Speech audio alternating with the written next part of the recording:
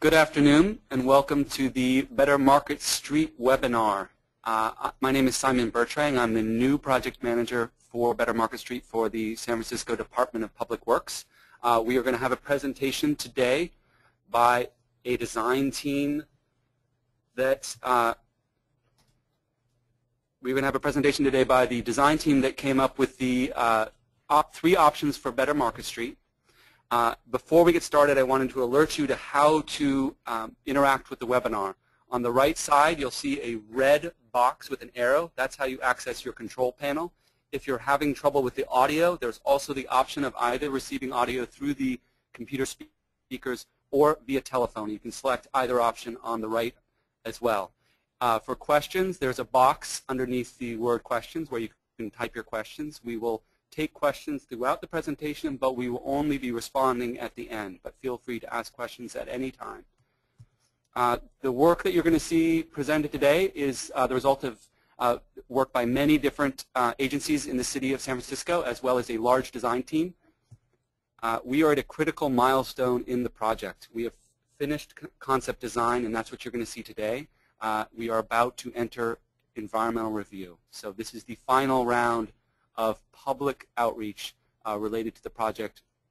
Uh, and we've been in front of you twice before uh, for uh, different at different critical milestones in the project, but this is the end of concept design. I'm going to hand it over to Jeff Risom of Gehl Architects, who will lead us through the presentation. Wonderful. So, as Simon mentioned, my name is Jeff Risom. Uh, we're the design team lead um, a firm named Gehl Architects based in Copenhagen but with a lot of experience in North America uh, and throughout um, San Francisco as well as places like New York City and Los Angeles, Seattle, uh, etc. So um, in beginning to think about what we want to achieve with Market Street, we want to make sure that we're creating an enduring flexible street for all citizens. Everyone should feel both invited to spend time here. It should be a very inclusive place, and we hope so. It, we hope in doing this, it also becomes not only a more livable street, but also um, a more livable city. We've, as Simon mentioned, we've had uh, two very good workshops already, and we've received some some good feedback where the public has been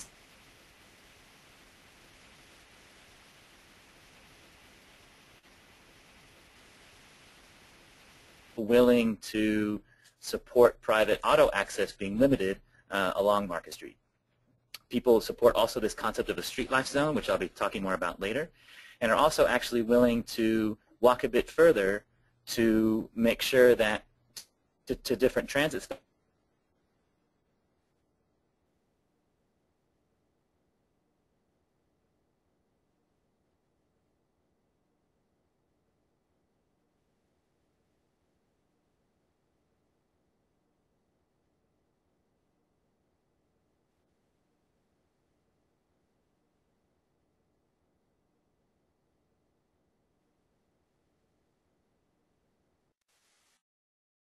already in the last couple years that we've been working on this project, Market Street has changed dramatically.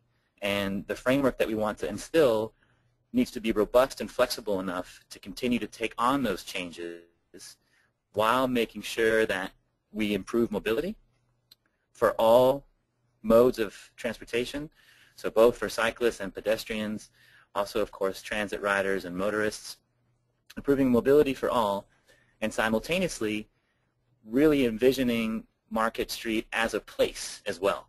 Um, we think that we can do both. It can be uh, a, a, fantastic corridor for movement, but also a really inviting and wonderful place to spend time. So this sort of win-win situation, um, we we believe can truly impact the quality of life for all San Franciscans. So many people, so many citizens of the city touch Market Street every day, and by making it better, we feel we elevate the entire quality of life of the city. So this idea of this win-win, as I mentioned, a new synergy between transportation and place, where the two mutually reinforce one another, and we take advantage of the fact that so many people use Market Street every day, and if we can invite them to spend some more time, well, now we're, we're making a really big positive impact. So as Simon mentioned, we're going to be talking today about three options. Um, all of them include substantial improvements to pedestrian conditions, the cycling facility, transit service, um, invitations for street life, various levels of uh, private car restrictions. Those elements are inherent in all of them, but we'll talk more about two options, one and two, which deal with just Market Street, but then also a third option, which uh, expands out to Mission Street as well as including improvements, specific improvements along Market Street. So these elements we've put together as a bit of a kit of parts. We've packaged them into these options. But one thing for it's important for you all to keep in mind is that some of these improvements might be rearranged, mixed and paired in multiple configurations. And that's one thing we really want to have your feedback on. So in beginning, the urban context, um, we understand that Market Street is a grand street. It has an iconic character. And we need to be able to define that throughout the length. You should know at any point between Octavia and the Embarcadero when you're on Market Street. There should be a, um, a symbol of that unifying elements that tells you you're on the city's actually most important street. At the same time, though, we know this street traverses very, very different district characters. So we've been thinking about other layers of design that can be added on top of these one street uh, iconic elements that then let you know exactly a little bit more about well, what part of Market Street are you at and how can invitations along the street respond to the specific needs and demands of that local neighborhood. This entire corridor is activated also by plazas of many scales, places that are, are city scale destinations really where people from the entire city, you know, spend time on UN Plaza or, or Hallidie or Yerba Buena. And we also know that there's district and local scale spaces which might attract activity and use from a little bit of a smaller area closer to them. Mechanics Plaza, um, a lot of the corporate squares and plazas along both of these corridors are utilized by people um, that, that live and work closer to that specific place what we've done over the last year as well is expand uh, the thinking about the Market Street corridor to also include Mission Street. And we'll talk more about what that means as we go on. But in general, it allows us to think much more in, in a much more of a networked way to think about the different streets and alleys and spaces that connect these two corridors and the, and the interface between all the spaces, all the, all the key destinations, some of which we mentioned here, that um, really contribute to how these two corridors function, how, the, how life along them is developed throughout the day, and how and why people really choose to come to some of these places. So one of the main hallmarks of our work at Gehl is to begin any sort of design process with a, a keen understanding of how people are using streets and spaces. So we've gone in both along Market and Mission and actually measured how many pedestrians use the street throughout the course of the day. And this diagram here just indicates the total amount of pedestrians that you find along Market and Mission throughout the course of a weekday. We've done the same with cyclists to understand both you can see at the top of the slide here how cycling usage varies throughout the course of the day and also how the total amount of cyclists throughout the day, how many, their quantity along different parts of market admission.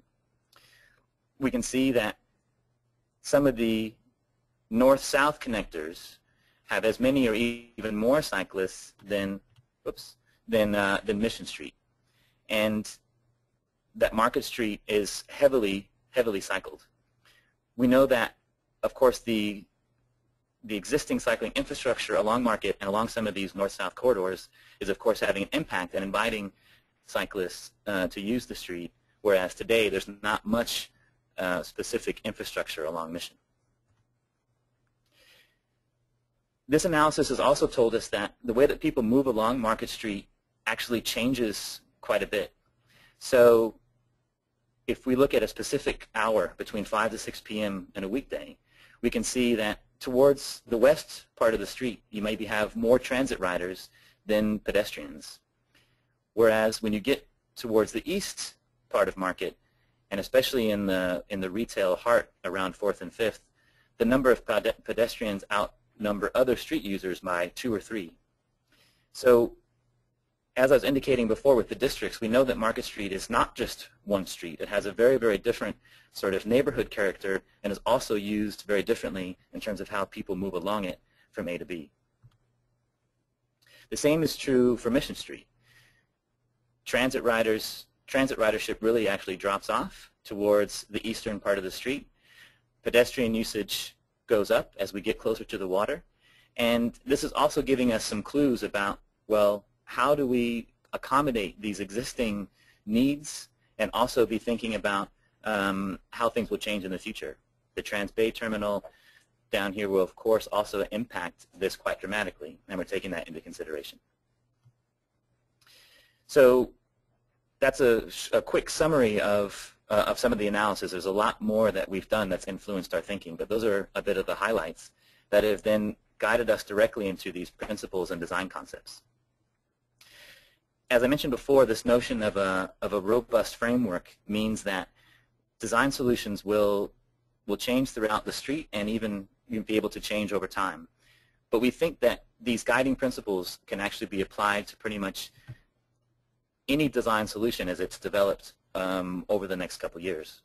The first one has to deal with street user families. We actually think that cyclists and pedestrians belong much more in the same category and we'll talk more about that as we go on.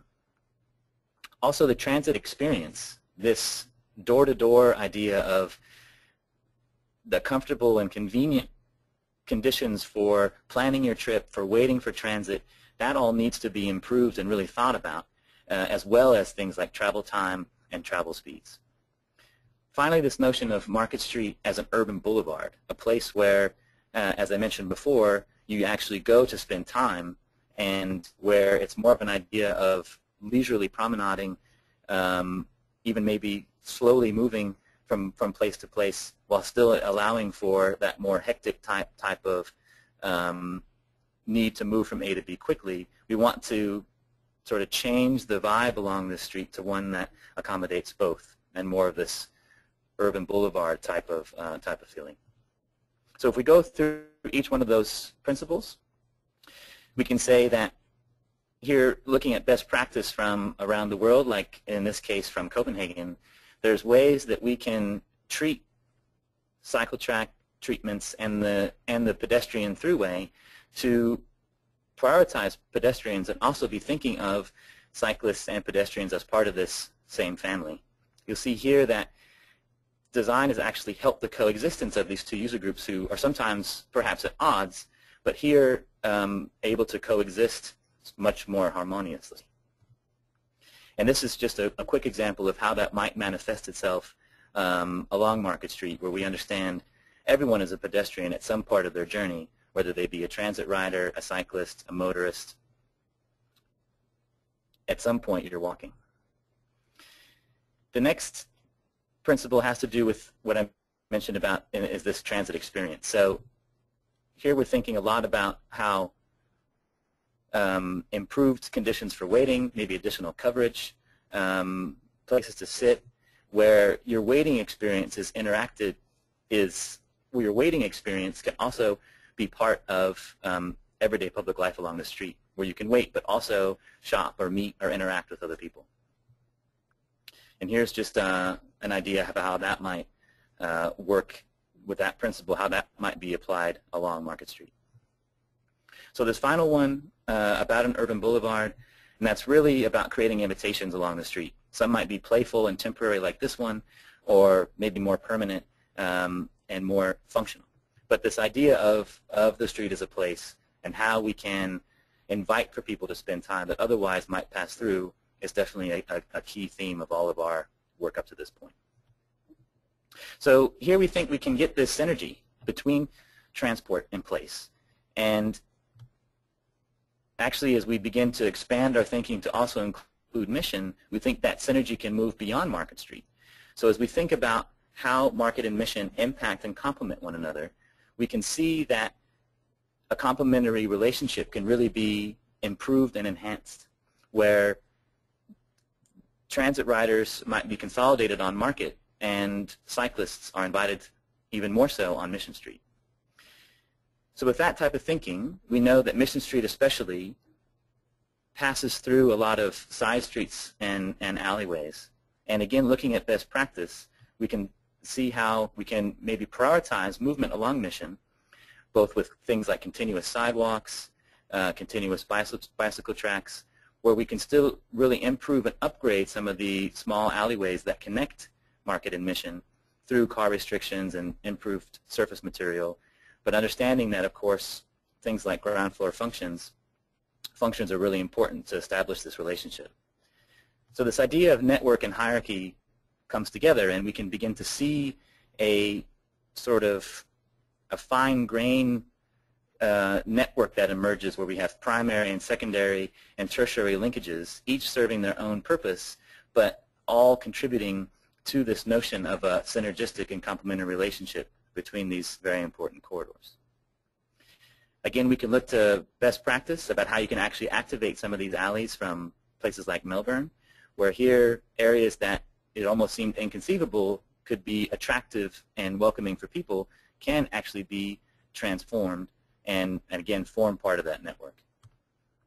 So this is just a little bit more explicitly talking about how street life can be activated along, along Mission Street.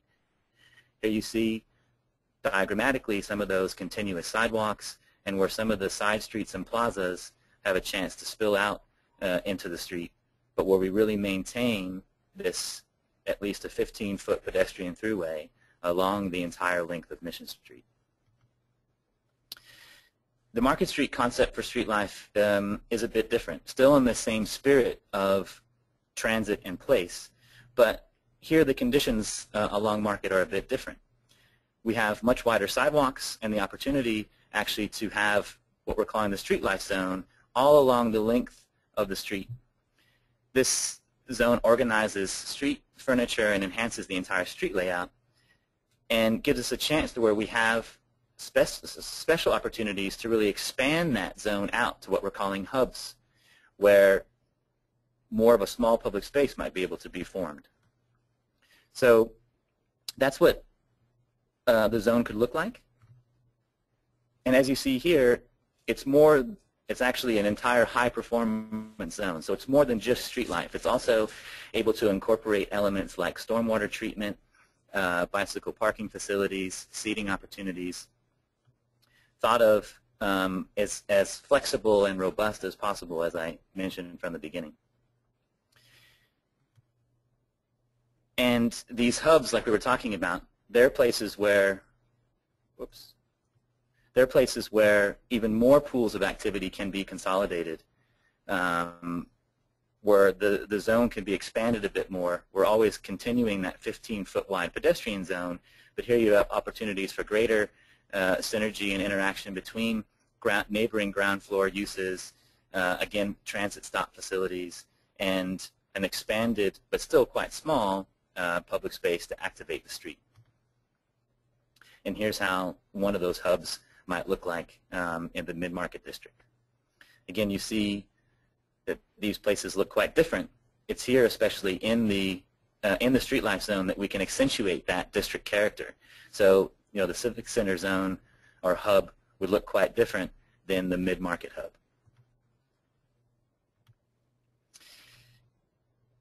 With this thinking about what we want to change and improve, we of course also recognize that there's a whole lot of fantastic historical character along the street that we need to maintain and preserve. So historical elements will, will be maintained as much as possible, things like the Path of Gold, um, are something that we need to make sure that we respect. We also know that right now the, the condition of the street trees and the canopy here are not in the best condition. So part of this street life zone concept is to create conditions where street trees can really thrive and grow and, and create that canopy that's more conducive to um, not only better air quality, but better conditions in terms of human scale, sun and shading. Um, the street trees will be a key element of the future Market Street. Um, street furnishings, we think we can declutter the street a whole lot. So take out the non-essential uh, and really unused items like a lot of the newspaper stands. Um, keep th some things that work well or have a historical character, but again, be thinking about um, street furnishings in terms of how we declutter and really um, streamline the appearance of the street. Transit shelters, we think we can do more here. Um, again, looking to some best practice about how pleasant, um, pleasant materials and contemporary design can provide cover and shelter, places to sit and rest, and also things like transit information, um, updates about when the next bus will be arriving. And here's a idea of how those concepts could be applied um, to Market Street in particular where again you really get that idea that we're able to integrate waiting for, for transit with all the other opportunities for street life along the street and promoting that synergy that I've been talking about. A key element, of course, as I indicated, are some of these plazas um, along the along the street. We've taken it upon ourselves to think about some concepts for two main plazas. The first is UN, where of course we know there's already this strong civic axis and, and function in proximity to the capital. Um, and we think that we can maintain a lot of the uh, a lot of the shape really of of this square, um, but change the way that people are invited to spend time here, maintaining the civic and democratic core, but improving things for uh, for people, providing new opportunities um, for a wide variety of people to spend time, coexist, um, partake in all sorts of different activities. And here's just a few uh, images of how that might uh, look, how we can maybe activate some of the large, large spaces there with uh, light pavilion-like structures, have a good combination of seats that you have to pay for next to seats that are free, things that, again, really promote this type of synergy we've been talking about. Hallidie Plaza, also, of course, um, a key location. Uh, right now, this sunken plaza um, is difficult to activate. Uh, doesn't necessarily really utilize this, uh, you know, incredibly precious real estate and area of this part of the city. And, of course, also it has an incredibly important street edge. It's um, really high, highly visible from across from the Westfield Mall and here at the Powell uh, Street cable car turnaround. So the plans for this uh, Hallidie Plaza hope to accentuate some of that vibrant street edge and that uh, good sun, sun conditions and microclimate, but we're actually suggesting that you could fill in the sunken portion, uh, bring up some of the activities and functions that are down below grade now up to grade, and again make a combination of pay-for seating and free seating, opportunities for all sorts of temporary and more permanent uh, use of the uh, of the square. And here's just a, an idea of what that might look like.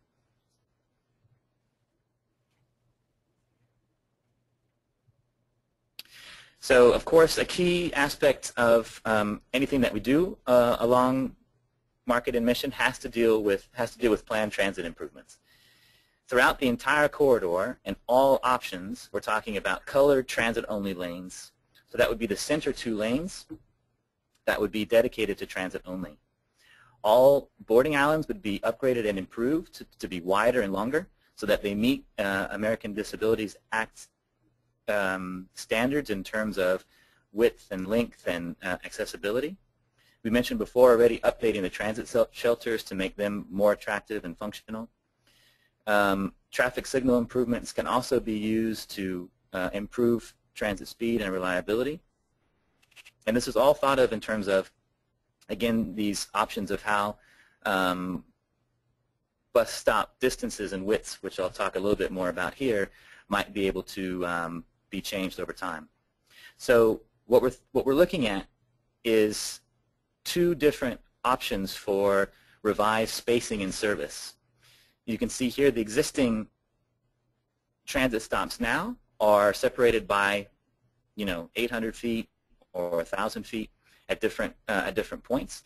And the enhanced would consolidate some of those stops, in, increasing the distances between stops by 20 or 30 percent.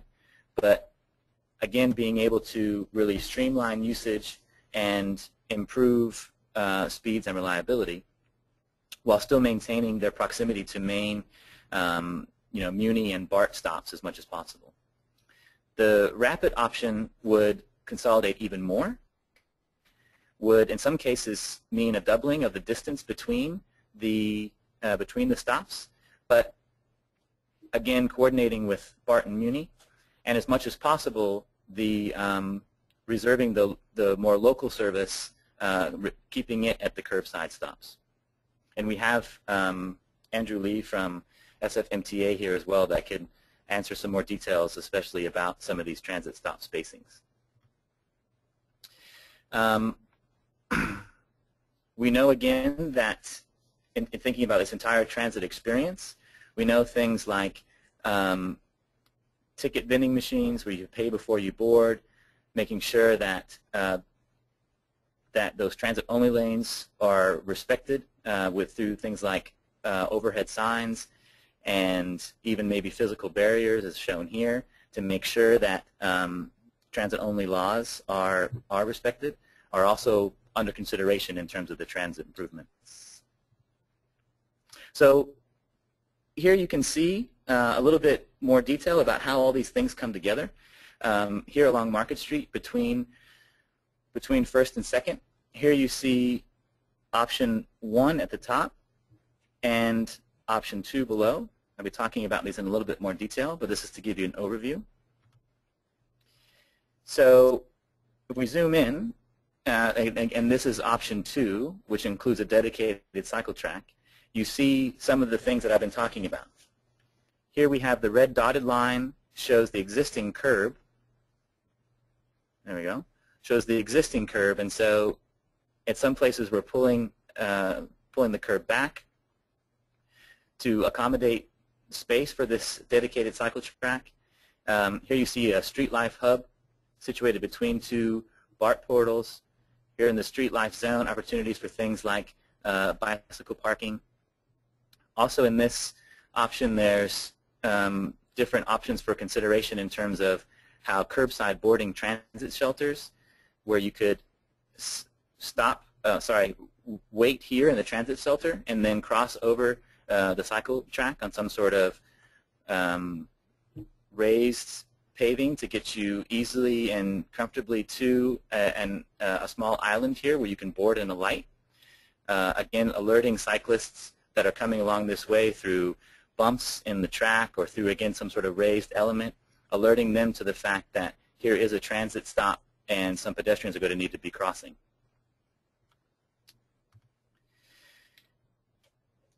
When we look at Mission Street, sorry, I'll go back just a second. Two more things to point out here. Here you can see the, the center lanes. These are transit only throughout. And that a lot of sidewalk conditions have been improved as much as possible. So we're shortened crossings where we can. And all throughout the entire street made, made sure that we keep this 15-foot through width for pedestrians to allow for comfortable movement and also for uh, actually hopefully increased pedestrian volume over time. So then talking about Mission Street, um, this is that third option. Here we would have an opportunity for, here you can see a, again, a dedicated cycle track. Here it's um, at grade, so at the current street level, but with a buffer separating vehicles from cyclists. Here's that buffer here, about four foot wide buffer. Um, six to seven foot cycle track that would move through the street like this. Opportunities again for the sidewalk to continuously at the same level cross over uh, side side alleyways so that if you're in a wheelchair or a pram, you can you don't have to negotiate a curb. You can continue walking just straight across. Cycle track as well would be uh, prioritized at, at, some of those crossings or have an opportunity for, for new mid-block crossings where these um, alleyways that are, again, we're seeing more use and more interest in them, how they can be integrated in this network that connects market and mission. Throughout um, the Mission Street plan, there would still be, along a lot of blocks, still um, parking provision, uh, but it would probably mean a 30% or so reduction in the curbside parking that's found along Mission Street. Now, a key thing to think about in terms of how Mission and Market would work together is the Mission Street option would mean that all the buses that are currently on Mission Street would be moved to Market. So the 14 and the 14L, um, Samtrans, all those buses would move to Market Street, and that would mean then that any Mission Street solution is also paired with a Market Street option. So right now we're putting this together with um, Market Street option 1, um, but again, this, this is a kit of parts that can be some, somewhat rearranged and, and mixed and matched. So here you see how these two options, Market Street option 1 and Mission Street, how they would each, uh, each work. Here in the shared lane option, um, option 1, you see that improvements have been made at the pinch points. So where cyclists and buses need to share uh, a lane, these lanes are about two or three foot wider than they are today, still having um, these wider boarding islands that I mentioned. And, and here you can see street life zone taking shape, again maintaining those 15 foot wide sidewalk widths. Here you have um, a Mission Street section where you can more clearly see that six and a half or seven foot cycle track, uh, a nice four foot buffer in between parked cars and, um, and the cycle track. So this means that cyclists really have a quite comfortable and protected um, path separated by moving vehicles, which would be in the center two lanes. So essentially what this Mission Street option does is it takes two of those transit lanes that are there right now and repurposes them into this cycle track. And again, we can do that because um, the buses are moving up to Market Street.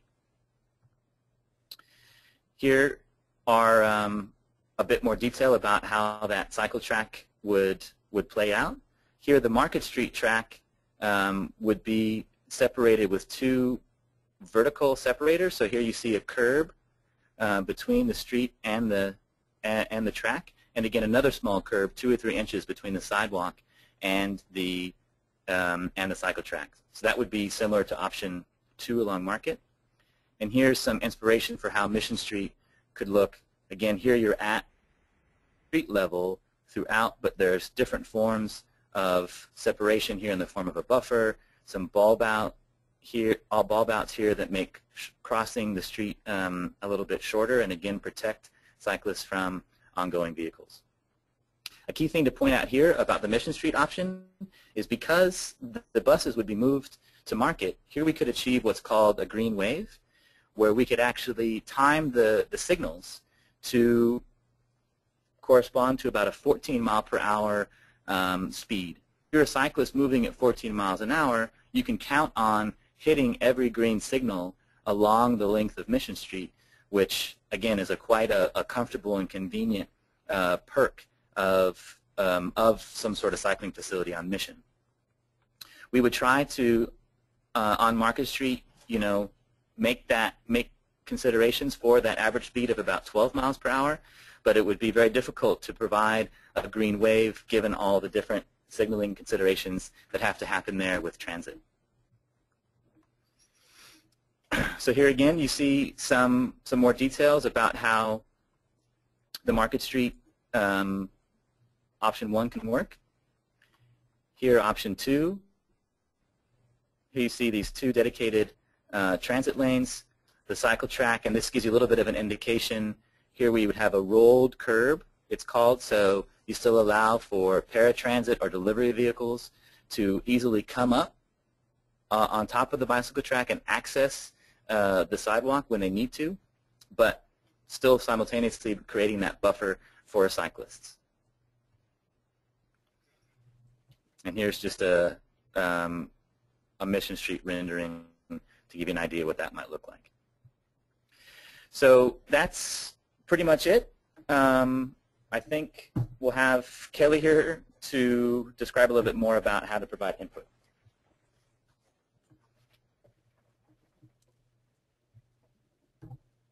Hi, this is Kelly Rudnick, Assistant Project Manager for the Better Market Street Project. Um, you can go to our website at bettermarketstreetsf.org. Um, later today, we'll have all of our presentation materials that we showed last night at the public workshop and that we will show on Saturday, July 20th at 10 a.m.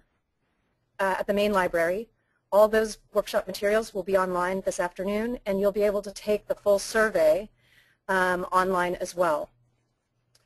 Um, that survey will be the SurveyMonkey uh, link you see there, but you'll find it also at our website at bettermarketstreetsf.org. We hope you'll come out and tell your friends to come out to the workshop on Saturday, July 20th at 10 a.m. at the main library at 100 Larkin Street. And now we'll be um, answering your questions. You'll uh, want to type them into the question box you see on your screen there. And um, we have Andrew Lee from the MTA and Neil Hrushowy from the Planning Department and um, Jeff as well to answer your questions.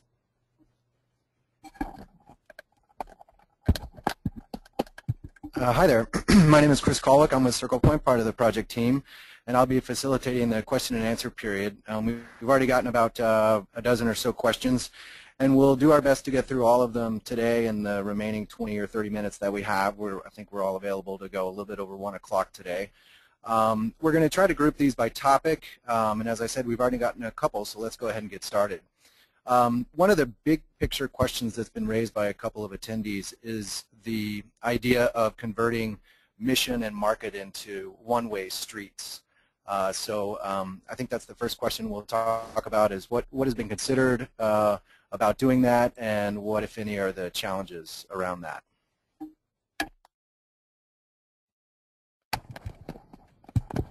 Hi, this is Andrew with the MTA. The one-way option was something that the project team considered when we were doing our feasibility study, and there are some benefits and also some drawbacks to that option. Uh, the benefits for one-way traffic is that you can facilitate a lot of movement, as you can tell from some of the other one-way streets in the SOMA grid. Uh, the drawbacks, however, are that it's a lot of traffic to cross as a pedestrian. It's not a particularly comfortable experience. Uh, if you're on a bike uh, and there are five or so lanes of traffic next to you uh, can make for a pretty intimidating experience. Some of the other limitations that we have for the system are that we have the F-line tracks already in the middle of Market Street and that system uh, along with the overhead wires uh, that the, uh, trolley coaches run along are uh, some uh, hardware that is very hard to move um, and, and hard to replace. So um, those are some constraints that exist for the system. Uh, and along those lines, Mission Street and, and Market Street have uh, some unique characteristics. Uh, Market Street is a, a, destination for many transit riders, and so to create a one-way couplet uh, would change the travel patterns, uh, some of the transfer patterns uh, for some of the trips along these corridors.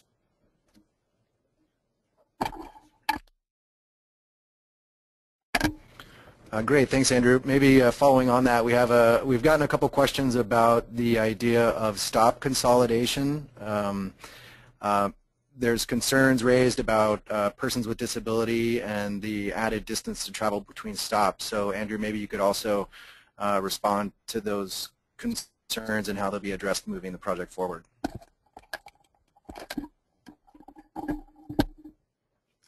Under both options, we are looking at reducing the number of stops from their existing pattern of about one stop every single block, and that's roughly 800 feet uh, to around one and a half block spacing. So that would add around 400 feet more uh, distance between stops.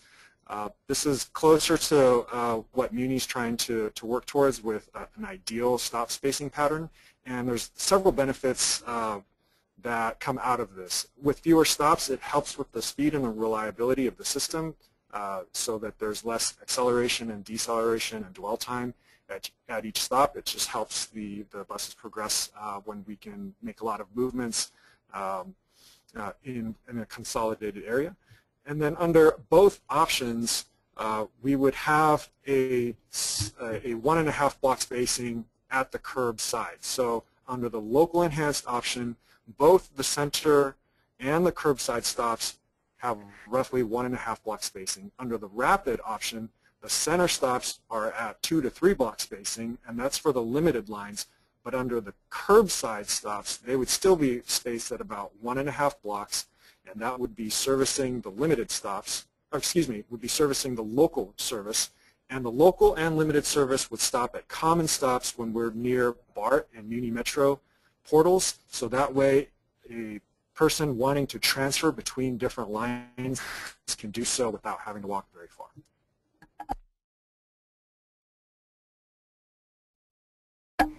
Uh, two, two maybe uh, quick questions also related to transit. Um, one is just what, what aspects of transit um, are included? I think primarily the question relates to is this, is this focused on surface transit only and what sort of parameters are there around the BART portals?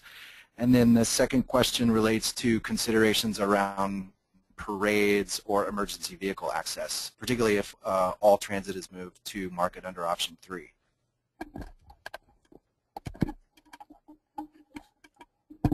with regard to the BART portals, BART has a study ongoing uh, that's looking at redesigning their their uh, portal design, and the Better Market Street team is in coordination with BART, uh, but uh, in more of a support role.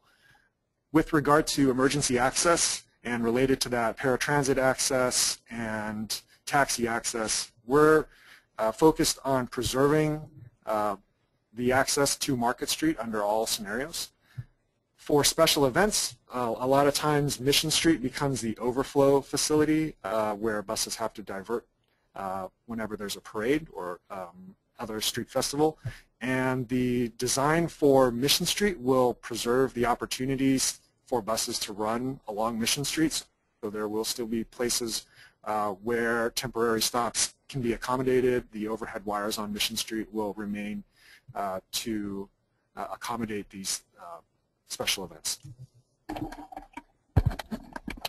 Great, thanks Andrew. We'll give you a rest for a minute there. Um, one of the common themes that always comes up uh, relates to the quality of life or the general quality of the experience of being uh, on Market Street as a public space. And there are often questions raised about um, the prevalence of homelessness, uh, crime, um, and public sanitation, and how those issues can be addressed with the plan that's being proposed um, and how we'll be moving forward. So I'll pass this to Neil. Thank you. This is a topic that we've thought long and very, very hard about. And I think there's some important points there. Within the Better Market Street, there's obviously constraints about what we can do. That said, I think we're at a point where the city as a team from the mayor's office down through the agencies are putting forth an unprecedented level of coordination and effort to help address the quality of life issues, not just along Market Street, but um, throughout the city. And so I think there are changes already on the ground, and there will be more. And when it comes to you know, affordability of housing and the quality of the housing, um, those are obviously issues that are beyond the Market Street scope. But in terms of the public space, what we, the goals that we have set and what we're aspiring to is to build off some of the successes that we've already seen. For example, in UN Plaza and the introduction of the, the farmers markets and the off-the-grid uh, lunchtime events and similar efforts, what we've been able to do is to really expand the number of users who can happily coexist and, and use a space very harmoniously at the same time. And I think that really needs to be our goal and that we're looking at expanding the diversity of people who, who can use and feel comfortable along Market Street. Now that said, there's not going to be one solution for every single block. And uh, is not going to be the same solution for every single block, and I think we'll probably roll out some of the public realm improvements in phases and very, very consciously and looking towards make sure that it's, it's, it's a success and it avoids some of the pitfalls of some of the efforts we've had before, but then not stepping away from the ultimate goal at some point in the future of making Market Street an inviting place for all people to come. That means opportunities to sit and relax and to, and to enjoy the urban environment and recognizing and not being naive about some of the challenges along the way. Uh, so along a similar line with regards to quality of life and experience on the street, uh, a couple of questions have been raised about the uh, effect of uh, the very windy sections along both Mission and Market, as well as uh, shadows and shade. Um, how are those particular aspects being considered?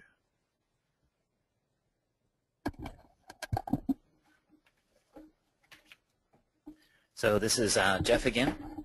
so what we've tried to do is the locations where we've suggested uh, street life hubs where we really see an opportunity for people to spend time and uh, enjoy the life of the street. We've definitely taken microclimate into consideration there. So we're looking for places where uh, you can be protected from the wind, where the sun hits the ground. Uh, so that's really incorporated uh, into our thinking and also been thinking about ways where, you know, how can we cleverly use furnishings, bus shelters, other types of elements like that in the street life zone to also really enhance that microclimate. So to shield from the wind where necessary um, and to accentuate those those sunny spots. So it's beyond the the scope of this project to talk a lot about you know heights and shapes of buildings. So what we've done is just work to provide those invitations where the microclimate already um, is good and where where we think we can where will, will remain that way here in the coming years. Uh, great. Um, uh, weaving in a couple of different issues and, and trying to combine a couple questions that have come up. Uh, there's a question about implementing the cycle track um, and how that will interact with uh, both loading uh, for merchants along both market and mission, but also um, if there is a, a big concern or pushback from merchants with regards to cycle track or moving of loading or changes to the bus stop location, uh, how do we anticipate um, moving forward with those types of issues uh, to make sure that all interested parties have had a chance to participate and, and are comfortable with the proposal that's on the table, that's moving into environmental review. Hi, this is Andrew again. A couple things about the loading. Uh, we, I invite you to come out to our workshop on Saturday to take a closer look at the uh, conceptual drawings that we've prepared and there you can get a closer look at how certain segments of the street are laid out. Uh, on most blocks, uh, as they're drawn, we have a loading zone uh, on each side of the street uh, for every single block. Um, and that's a primary concern for this project to accommodate the loading not only for commercial deliveries but also for uh, disabled access uh, at critical points, particularly BART portals and elevators. If you have particular concerns about certain access at a particular location, once again, I invite you to submit your comments via the online survey or to come out to the workshop and give us your feedback. Uh, the project team has been reaching out to stakeholder groups uh, as part of our, our targeted outreach and uh, hopefully uh, you can come out to some of those meetings. Uh, please check the bettermarketstreetsf.org website uh, if you have a request for the project team to give a briefing to your particular group.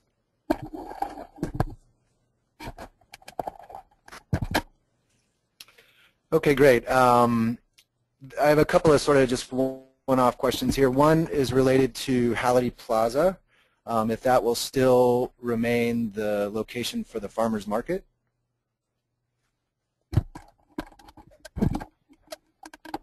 This is Neil from the Planning Department. So the, the Better Market Street proposal for Hallidie Plaza is really to increase the flexibility of, of the space so it can be used in, in more ways. And so it's completely consistent with it being used as a farmer's market. We are not prescribing what should or should not happen there. And so there's no plans to cancel the farmer's market or to, to move it or to change it or, do anything else. But it's actually just to provide a much higher quality, more inviting canvas for things like farmers markets and other events to, to happen there. And so the Better Market Street project is not um, has not weighed in on, on locations of farmers market, for example, at Hallidie Plaza. Uh, great. Um, on a slightly separate topic, um, there's been some questions about how uh, street furniture and how the trees will be selected. Um, with the trees in particular, it's related to the uh, impact of invasive roots on the sewer system. Are those types of considerations being factored in, and um, how, are, how ultimately do you anticipate making the determination for the uh, street furniture and, and, other types of um, amenities?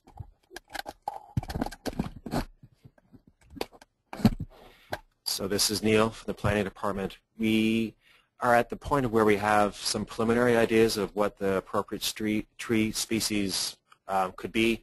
We worked with the city arborist and uh, and as well as the consultant on, on, on the project to, to develop that. And but we're not at the point where we're selecting it. I think what we have agreed upon is that in the past 40 years, there's been a huge improvement in um, understanding and technology about how to plant trees in urban environments that really provide a much healthier and more robust urban forest, and that that would be implemented regardless of which tree species we, we, we end up choosing. But clearly, we're going to be very, very careful. There's a tremendous amount of very expensive infrastructure under the ground, um, both public and private, that we need to be very considerate of and not threaten and so whenever we design um, the, the, the tree trenches, that that be taken into consideration. But we're still it's too still too early to say which species it's going to be, and so that conversation will continue through our environmental review and design phase um, the next two years, and as we head into the final final design. So there will be more opportunities to get down to that level of detail. And in terms of the street furniture, the, um, the ideas are very preliminary at the moment. The, um, we imagine that there's going to be some sort of common uh, language for, for the street furniture. There will be a Market Street bench, for example, but that there will be elements of all the street furniture that can be, let's say, swapped out. And this is an effort to bring some level of distinctiveness to each of the neighborhoods and that there may be an opportunity for an artist to do a panel on, on one of the benches or one of the standing tables, and that there be some level of customizability to help accentuate um, district character. Great. Uh, back to, I guess, transit a little bit. Um, one of the questions relates to the fact of the option three having uh, bike facilities on both Market and Mission. And uh, the question relates to sort of how that uh, determination came about, and uh, and is there um, sort of overlap by having two corridors one block apart having bicycle facilities?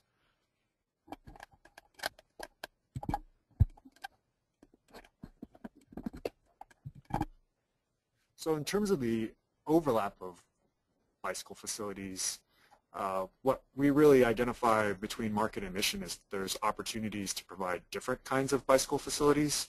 Uh, the Market Street Cycle Track is a uh, vertically separated facility that brings you close to the street life uh, and gives you opportunities to stop and interact. And the Mission Street alternative gives you slightly more of a horizontal buffer uh, and it's also a slightly wider separated facility uh, so that it may appeal to a different kind of user group. Um, with regards to how this came about, um, looking at some of the, uh, the, the traffic and the the walking volume slides uh, that Jeff presented, we're asking a lot out of Market Street um, as is right now. There's uh, it's our transit backbone. It's uh, become our bicycle backbone. It's one of our primary pedestrian corridors. And option three came about because we wanted to see whether we could spread out some of this demand in a efficient way that prioritizes the existing uses and the existing users, uh, but also uh, creates more of a network type design that also accounts for anticipated growth into the future. Uh, great. Uh, a couple of questions around auto traffic. Um, one of the early questions related to the fact that um, auto conflicts, particularly between pedestrians, is quite a problem now uh, with auto drivers running red lights, blocking pedestrian crosswalks. Um, two intersections actually noted, Market and Van Ness and Market and Hyde. And I'm wondering how those concerns are being addressed and incorporated into the proposals.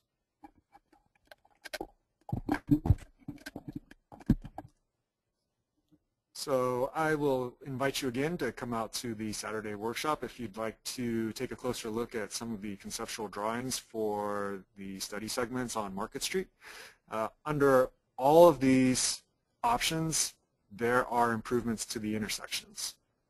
Some of these intersections will get uh, narrowed uh, to eliminate some of the slip lanes for the uh, for the diagonal intersecting streets so that pedestrians have a shorter distance to cross and uh, will no longer have to make a, a two-stage crossing. Uh, some of these locations uh, will have auto restrictions. There are three levels of auto restrictions under each option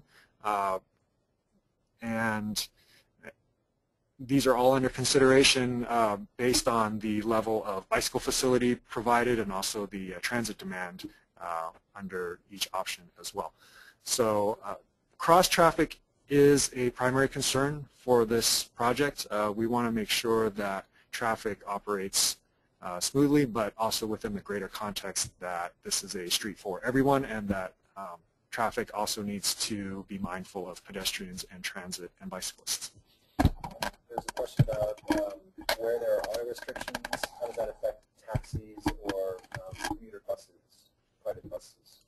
So the three level of automobile restrictions uh, all have exceptions for taxis. So taxis will be allowed on Market Street as they are now. Uh, that goes also for shuttle buses and also for paratransit vehicles. So they will always be allowed to access Market Street and we are trying to include in our design accommodations uh, through loading zones and uh, other uh, loading cutouts for uh, uses that need access. Uh, great. So uh, just wanted to check in, time check. It's 1 o'clock. Uh, we're all available for a few more minutes to take a couple of last questions. Um, I believe we've done our best to capture all of the themes that were raised in the questions that have been submitted so far. Uh, I would encourage those of you still on to um, view the more detailed exhibits and information that will be posted on the website this afternoon. Please take the survey as well so that we can incorporate your feedback into the process at this point as we move into the environmental review. And uh, you can also submit comments through the website and we're looking forward to beginning the environmental review process and drilling down into these many of these details and questions that have been raised so that we can answer your questions and provide those in the form of the environmental document. Um, Kelly, maybe I can ask you to just give a quick uh, schedule overview so people kind of know what's coming in the next year or two. Uh, and then another question that came in was uh, regards funding for the project and if the, the project will require um, a bond or how we anticipate funding the work uh, down the road. So we are um, just finishing up the conceptual or the conceptual planning phase with our conceptual three uh, options, and we will start um, the environmental phase, which will last for about two years. It's, it's estimated to last for two years. We're not into it yet, so we don't know that for sure, but that's the estimate. Um, the funding will come from multiple sources. Um, some of them will be uh, grant funding. We're also looking for um, some, for the plazas, we are looking for some partnerships, some public-private partnership funding. Um, for the street itself, it'll be uh, probably federal funds, state funds, um, some city funds, bonds, and um, it it's not it, we're not at the place in the project yet that we know exactly where the money is coming from. So I think we're going to wrap up, and thank you so much for joining us. Um, be sure to visit the website, bettermarketstreetsf.org, to see the, the exhibits from the workshops. And please uh, join us and tell your friends to come join us on Saturday morning at 10 a.m. at the public library for uh, this presentation uh, and a lot more information. You can get a lot more detail on Saturday morning if you come and see us then. Thanks a lot for joining us.